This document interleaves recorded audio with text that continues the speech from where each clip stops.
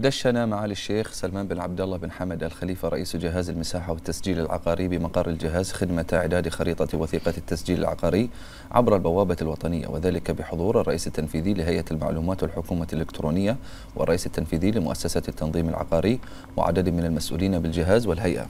وقد جاء تدشين الخدمة الجديدة استكمالا لخطط جهاز المساحة والتسجيل العقاري في تحويل جميع الخدمات التي يتم تقديمها من قبل شركات المسح الخاصة المسجلة لدى الجهاز إلى خدمة إلكترونية تسهم في رفع كفاءة الأنظمة وتسريع الإجراءات المقدمة من قبل الجهاز. وذلك تماشيا مع برنامج الحكومة للعام 2023-2026 في تقديم خدمات حكومية ذات جودة وتنافسية التي جاءت ضمن محور الأداء الحكومي والتحول الرقمي.